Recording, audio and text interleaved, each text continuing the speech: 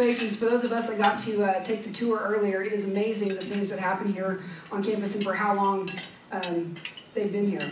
Uh, we have a few other special guests quickly with us tonight I want to recognize, starting with the members of the Oklahoma Hall of Fame. Um, induction into the Oklahoma Hall of Fame is our state's highest honor, and I'm pleased that we have a couple of men who hold this distinction with us this evening. Uh, obviously, Dr. Kenneth Cooper, uh, our speaker, and then Tom McCasland, um, here at the other table one right here. So thank you, gentlemen, for please stand? I also uh, would be remiss, uh, Mr. Pickens could be with us tonight, but Jay Rosser is here um, in his place, and uh, Jay's been a big part of our program since we moved into the museum, actually prior to moving into the museum. Uh, for 12, 11, 12 years now. So thank you for being with us, Jay. Um, also, we have Amanda Clinton from our board. We have Virginia Grundyke, our chair-elect, and we have Edna May Holden. Um, thank you each for being with us tonight. And also, even though you were not, for those of you that did not ride the bus, which was a blast, Amanda Clinton has, on your way out, um, Amanda, where are you? Are you here? Yes. Uh, has provided party favor swag for you on your way out from the Cherokee Nation. So please, pro- she calls it propaganda. I'm telling you that you have a swag bag. I'm Seminole. We communicate differently. So, uh, but, but please, again, thank you, Amanda, for being so generous. Uh, I think you have the seasons of Osiyo in here. Three seasons. Three seasons of the Emmy-winning Osiyo is in your bag. So again, thank you, Amanda, for that. Um, so. Um, I'm also excited that we have two of our second century members here representing our young professionals group, Lindsay Funk and Morgan Roberts. Thank you for being here. I also want to thank our friends of the Medallion here with us tonight for joining us in our mission and telling Oklahoma's story through its people. Friends of, the, Friends of the Medallion have a shared passion for preserving Oklahoma's unique history while promoting pride in our great state. Their support sustains us at the Hall of Fame to tell the to tell the story of our people. Thank you for your support in making all of our programming possible. If you're a guest tonight and are new to the Oklahoma Hall of Fame, which many of you said I'm not from Oklahoma, and that's okay. We're glad that you're with us as we celebrate our shared heritage of, as Oklahomans and learn a little bit more about who we are and what we do as an organization. Hopefully you've noticed the photographs that are on the screens, and you've seen some of the special Oklahoma experiences that we offer at the Gaylord Pickens Museum throughout the state that promote our history and our heritage. At the heart of what we do is our belief that there are no limits to what is possible. Every day we celebrate the legacy of inspiring Oklahomans with all generations because we believe Oklahomans are changing the world. In telling Oklahoma's story through the lives of its people, we create deep connections with our history and our heritage. History isn't made by time, or occurrences, it's made by people. When we understand this, we're challenged to think about what we too can do to impact our communities, our state, and our world. When we share the defining characteristics and values of Oklahomans of the past, we can advance those same traits in ourselves and take pride in our ability to create real and lasting change throughout our society. We're fortunate because we have seen the waves of change Oklahomans have made every day, and we see this very clearly in the life of our honored speaker tonight, Dr. Kenneth Cooper. Known as the father of aerobics, Dr. Cooper has shaped the way Americans view fitness for 50 years.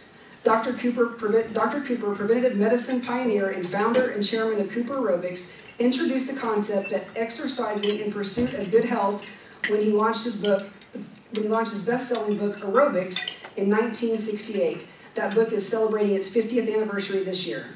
A former Air Force flight surgeon, Dr. Cooper invented the 12 minute and 1 minute 1.5 mile fitness test and aerobics point system recognized as the leader of the international physics fitness physical fitness movement and credited with motivating more people to exercise in pursuit of good health than any other person dr cooper has long advocated moving the field of medicine away from disease treatment to disease pre to prevention help me welcome 1983 oklahoma hall of fame inductee dr kenneth cooper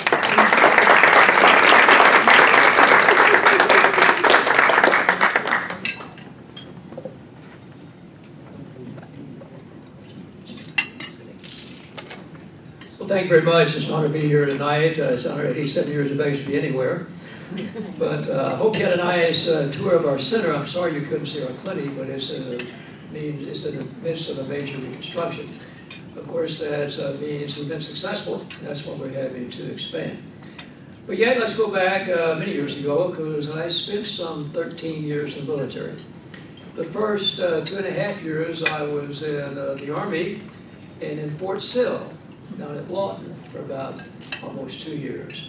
That was uh, trying times for me because that's where I met Millie in Lawton, Oklahoma. She was working special services there. I'm happy to say we got married some 59 years ago, and I'm happy to have her here tonight. After transferring to the Air Force to go into the space program, I thought, aerospace medicine program, and to become probably a scientist astronaut. I did work with NASA for two years. I helped develop the treadmill stress testing for the military, or for the NASA program, which has now become uh, ubiquitous. Now, we had problems in the early days with the treadmill stress testing, which worked out the details, but we were able to uh, now have done over a quarter million maximum performance treadmill stress tests here with practically no problems whatsoever. So we've proven that. But still then, in 1970, I realized that my career, 13-year career in the military, didn't have that much of a future unless I wanted to give up the career I had developed in the Air Force. The Air Force put me, two, put me through two years at Harvard, a Master's in Public Health, 1961, 1963, and a year in exercise physiology. I was the Air Force's expert in exercise as medicine. But then in 1970, I read my first two books in the Air Force. They wanted me to move on and become the commander of a hospital because I was a lieutenant colonel, soon be promoted to a full colonel, and you can't become a full colonel or you can't really expect to be a general officer in the Air Force unless you have some administrative experience. So I had to make a very important decision. So at uh, 40 years of age, pregnant wife with Millie, pregnant, Millie was pregnant with my son Tyler, who's now the CEO of the organization, and a five-year-old daughter.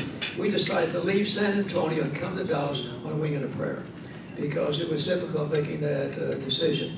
Bob Buford wrote a book entitled uh, Halftime. In this book, he says you can be successful but not significant. I think of the situation I was in. In the eyes of the Air Force, I was successful, but I really wasn't accomplishing that much. Too many restrictions being in the military, serving in the government. So I decided to go out and start from scratch. And for the first uh, few months, we came to Dallas, Texas, and had a little troop office and two employees down in Preston Center. And it was difficult. Had to go before the board of censors because I was doing something as dangerous as treadmill stress testing. But before the board, I wasn't censored. I gave a very lengthy presentation. I've been doing the Air Force and the second person in town to have a treadmill for stress testing was the chair of the Board of Censors. Going on, fast forward then to 1971, still down in Little Tour office down in Preston Center, and I had a very prominent pastor here in town who had heard me speak at a luncheon. He was 57 years of age, way overweight, wanted to get into shape. So I encouraged him to come by the clinic and have an examination, which he did. I put him on the treadmill. He lasted two minutes. Before I stopped him, I said, your EKG is so bad, you have severe coronary artery disease, need to be hospitalized immediately. I don't believe that. What do you mean? Well, some physician just recently said everything was fine. You do a stress test, say that, oh, that Cooper's a quack, ought to run him out of town. Don't do that, that's dangerous. Don't take a stress test. Because your rest EKG is normal, no problem. I said, okay, I'm washing my hands of your case. I called a physician. I'm in my 62nd year practicing medicine, hard to believe. And the only time I've been cursed out by another physician was from this physician called said, you quack, what you doing? I'm running out of time trying to steal my patient. said, hold the phone. This man has serious disease. I don't believe that. Okay, I'm washing my hands of his case. Nothing was done. And 10 days later, sitting at his desk at his church, he collapsed and died of a heart attack. And keep in mind, the first most common symptom of severe heart disease is sudden death. People don't realize that. But that really stirred interest in the concept of stress testing. And now it's going all the way forward, as you'll see in a few minutes, that in 2016, the American Heart Association said in the, in the publication circulation, if a physician doesn't do a maximal stress test in conjunction with an annual examination, that is not a complete exam because your aerobic capacity, I was almost kicked out of town for determining, is a better predictor of future cardiac events than high blood pressure, high cholesterol, cigarette smoking. That's the kind of trouble we had back in those early days. Fred, I appreciated your prayer very much because people, when we've gone from two officers and two employees, this magnificent facility here, a lot of ups and downs over the years, and we've been bankrupt once, had three years at the start from scratch. That's typical kind of being an entrepreneur. But I've always said the reason we've been successful here is two reasons. Number one is divine intervention. I'm very strong in my beliefs. There's so many times over the years I need to make a decision. I want to go this way, but instinctively I went the other way. If I go the way I want to go, I wouldn't be here today. Number two is a fantastic staff. You saw a couple of those leading this tour tonight. We have almost 600 employees here. We have 24 physicians, and we have one of the best staffs in America. I'm very proud of my staff. That's true for school teachers too, you know, because a, a corporation will be just as successful as the employees make the CEO. That's all there is to it. And I really compliment my staff. Number three, we've proven, you'll see this in the presentation, we've proven that it's cheaper and more effective to maintain good health than regain it once it's lost. Preventive medicine, when I was in medical school back in the 50s, Oklahoma City, they said preventive medicine is the Cinderella of the medical, specialty because there's no profit in health. The profit's the disease. I thought they're right the first couple of years. I didn't see much profit. But look what's happened over the years. But finally, number four, if people realize they have a need, you provide a service, they get the results they want, they make you successful in any field. 147,000 patients come to this clinic from 1 to 47 times in the past 47 years. We're also finding that 54% of our patients are corporate sponsored and 74% are return patients. They're getting what they want. I tell my physician staff daily, patients come here, they pay big dollars for an examination, but when we take insurance, we're overwhelmed with patients because we get results with our patients. Because I tell my physician staff, our patients are equally concerned about how much we care or about how much we know. And we've lost that in medicine. Get them in, get them out. We spend an average an hour and a half with each patient. Only see four patients a day going through the clinic. That's why people come from all over the world to come through our examinations here. Half the people come from outside the Metroplex. They come from foreign countries. I have taught people in the world coming for the examinations here. And we, they come back.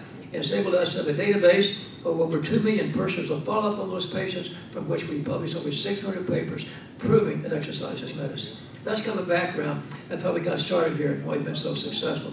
Now I want to go ahead and I want to show you what really made us successful, of course, the publication of the first book he wrote we back in 1968. It came out in hardback form and softback form at the same time as a feature of Reader's Digest. That's what took it worldwide. It was the first two books for features at Terrell in Reader's Digest. The book came out, though, again, great criticism because back in those days we only had about uh, 40, percent of our people that were, were walking, 24% were walking regularly, and then only about 100,000 joggers. And I would see titles in medical newspapers that said the street's going to be full of dead joggers where Americans follow Cooper. That's how vicious it was back in those days. So what happened then, when the book was published, it was actually, it wasn't until 1986 we put a definition in the dictionary, Oxford Dictionary, that's what put in the dictionary. It's a method of physical exercise for producing beneficial changes in the respiratory and circulatory system, activities which require only a modest increase in oxygen intake and so can be maintained. As I mentioned back in 1968, 24% of our adult population is exercising, 100,000 joggers. The book came out by 1984, we jumped to 59% exercising, and 34 million people claimed to be jogging back in those days.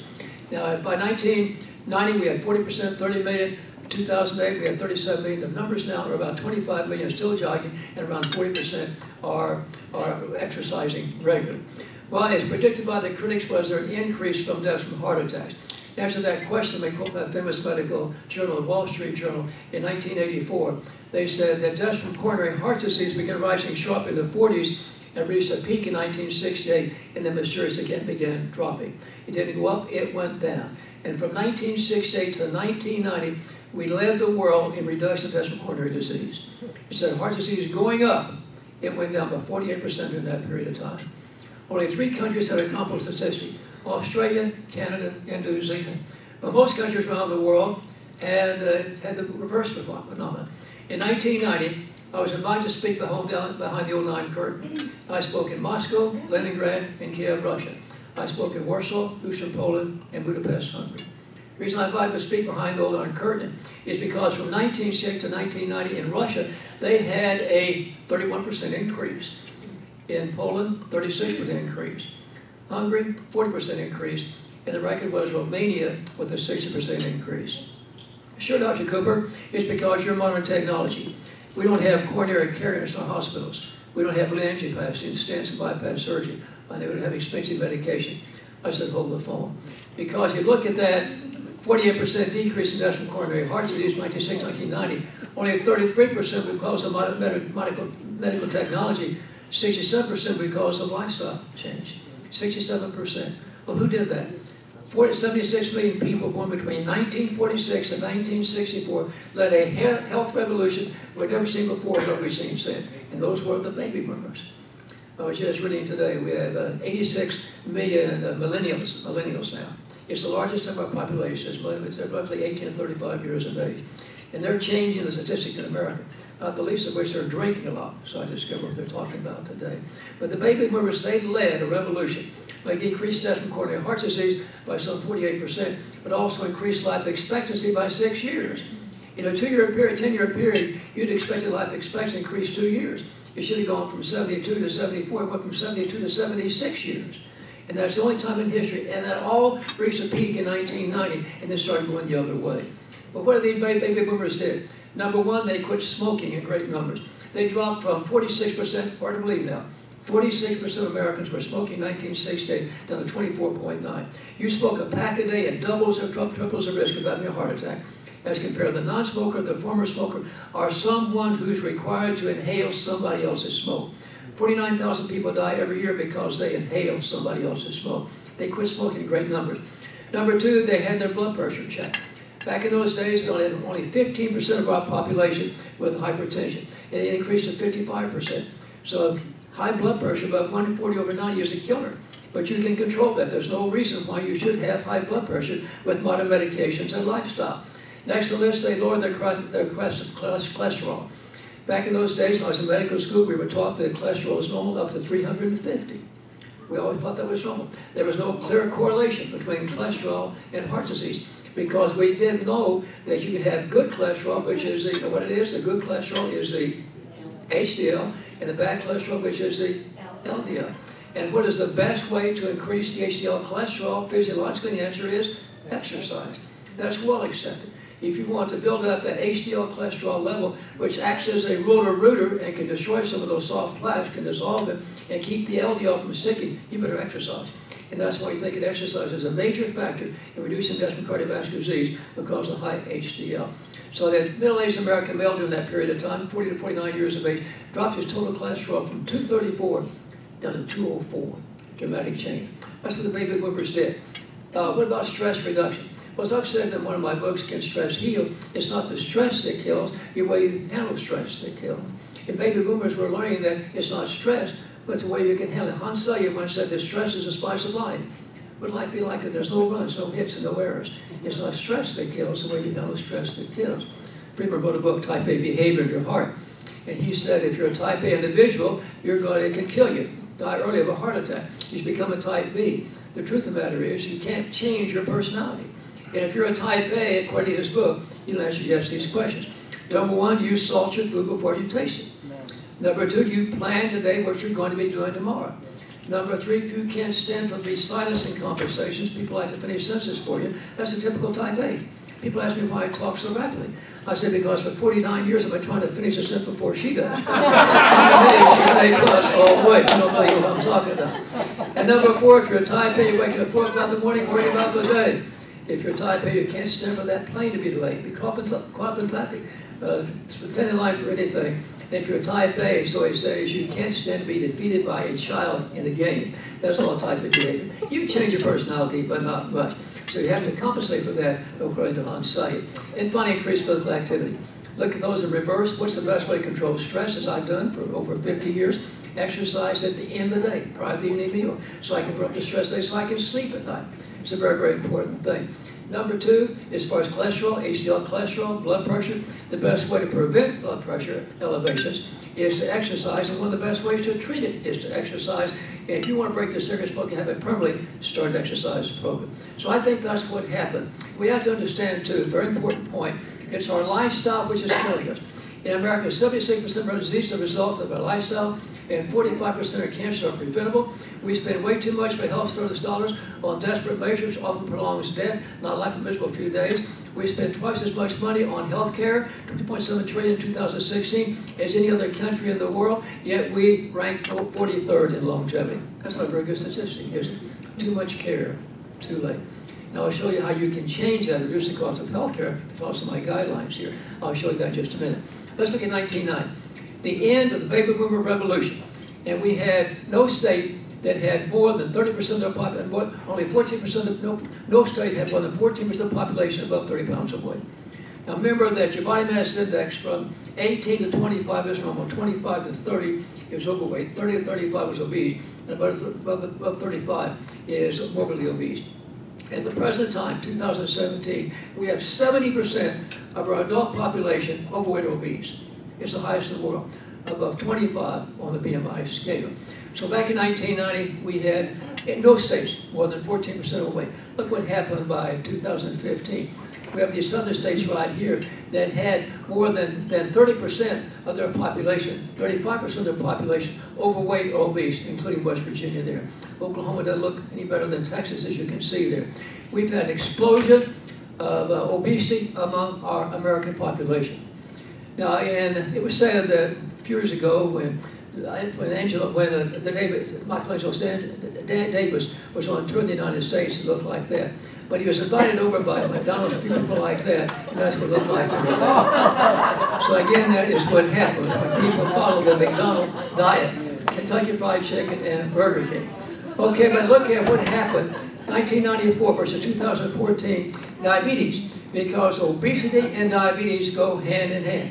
Type 2 diabetes as a result of our lifestyle our diet, inactivity. And you look at this, diabetes in America 2012, 29.1 million diabetics, 86 million pre-diabetics, medical bills 247 billion in 2012, one in five healthcare dollars is spent on diabetes. Most of the cost for diabetes care in the United States, 6.4% is provided by government insurance, Medicare, Medicaid, and the military.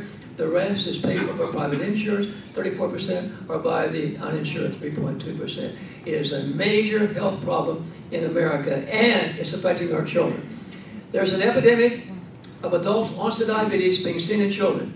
It's estimated among children born the year 2000, one out of three children will develop diabetes higher in Hispanics and African Americans.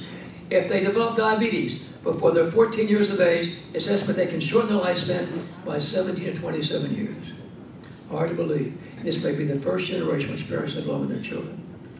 When I was in China, back in, I'll tell you more about this later, when I was in China back in April last year, 2017, we opened up our Cooper Aerobics, uh, Cooper Aerobics Center in Nanjing, China. And while I was there, I had a chance to speak. This is uh, what it looked like. That's the Cooper Aerobics Center in Nanjing, China, 140 acres of land and a beautiful facility with a fitness center and all those various things. But I was asked to speak to the Communist Party. And so I showed a slide. I showed that before 2011, published in the Journal of Medicine, that before 2011, the major cause of kidney failure, requiring dialysis, and even kidney transplants, was, was glomerulonephritis. That's a chronic kidney infection.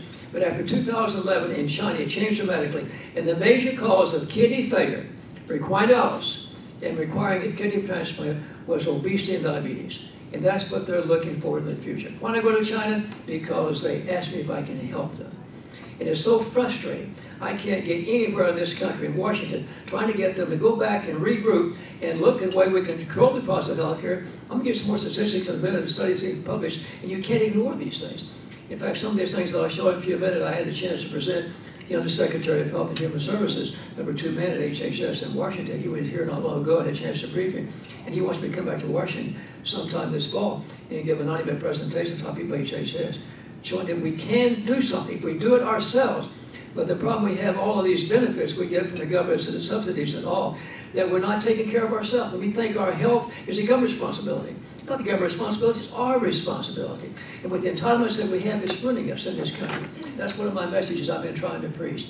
Low exercise will cause mortality. I actually have pioneered stress testing.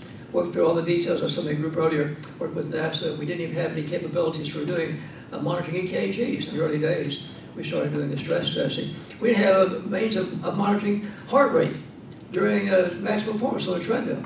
This is true. Our first treadmill stress test I would stand beside the treadmill with the exercising something on the treadmill and a blood pressure cuff on his arm. I'd blow up the cuff, get the systolic pressure, diastolic pressure, get half in between, and then count for 15 seconds. That's the only way we can measure a heart rate on exercising something back in the 1960s. But we've gone a long way, I'll tell you since then. But we, we monitor the treadmill stress test. The treadmill stressing is something we pioneered here, but it actually goes way back because it was in the 1800s that in Great Britain they used a tread wheel to penalize prisoners that they couldn't control. And they would strap them onto this bar and make them walk for as long as four, five, six hours just as a punishment. and so, uh, as a result of that, they, uh, they called it a treadwheel. They realized all that effort's being uh, expended with no success. So they started putting rocks underneath and green underneath, and they made it a treadmill. That's a true story. Huh. It started out as a treadwheel and converted it to treadmills, treadmill, so they do something with it. So as was, was published not long ago, exercising on a treadmill feels like torture. It's, that, it's not exactly a coincidence. Over the years, American prison wardens gradually stopped using the treadmill in favor of other backbreaking tasks, such as picking cotton, breaking rocks, or playing bricks in England. The treadmill persisted until the late 19th century when it was abandoned for being too cruel. Keep that in mind. The machine was all but lost to history. But when Dr. Kenneth Cooper demonstrated the health benefits of aerobic exercise in 1960, the treadmill and traffic returned, and today well-paid personal trainers have taken the place of prison. You got a personal trainer so you're a prison warden. It's hard to say that. So you can see, we've had our experiences with, uh, with stress testing.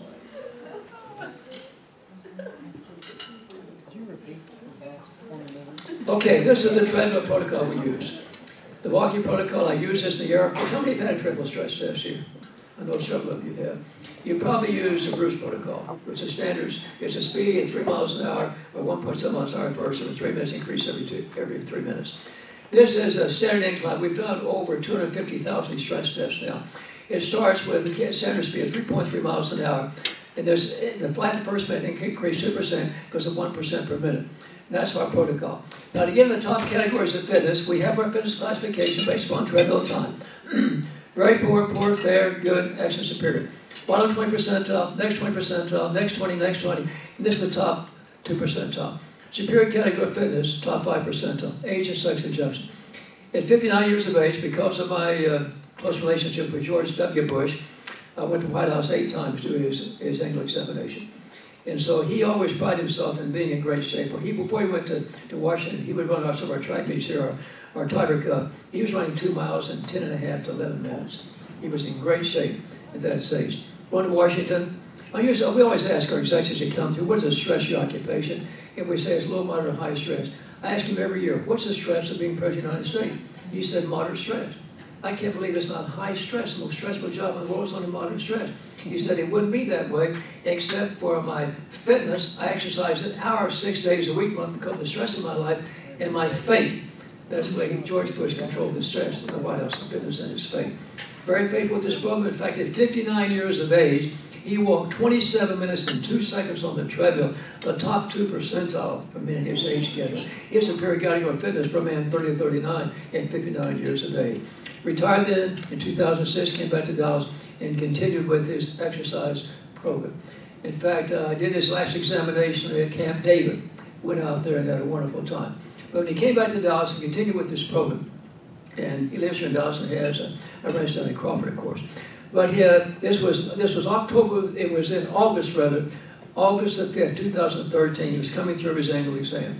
He didn't tell us that two weeks earlier he had finished a hundred kilometer bicycle ride with his veterans and almost passed out. Hot, humid July. He thought he was just dehydrated. So he forced on the fluids with the Gatorade and all that, and then he came in, put him on the treadmill. His performance was down some thirty percent. He was way down. He almost passed out in recovery like he had two weeks earlier. We immediately did a CT angiogram. Stress test had always been normal. It was grossly abnormal. The CT angiogram had 99% started to look like a major coronary vessel. We immediately got him in the hospital over Presbyterian, all done within four hours, angioplasty and. And we discovered he had a 99% of the widowmaker. Then when you block that one off, people don't survive. 99%. He was scheduled two weeks later to have another 100 kilometer bicycle ride. If he hadn't come through, that was divine. If he hadn't come through, he would be here today. And he says that. When I was seeing that afternoon, know, he said, Cooper saved my life. I said, George, I don't know how true you're speaking. Because two days earlier, this was August the, August the 3rd. It was, August the 5th when he was on a Monday. And August the 3rd, we had a 60-year-old corporate executive running on the indoor track. He was a corporate executive with Exxon. He had a complete, cardio, a complete examination by his cardiologist a couple weeks earlier. He asked the question, I'm 63 years of age, I've never had a stress test. And Cooper said, I should have one. You don't need one because your resting kg is normal, you have no coronary risk, you have no symptoms. So stress testing for you would be worthless. And so he had had a stress test.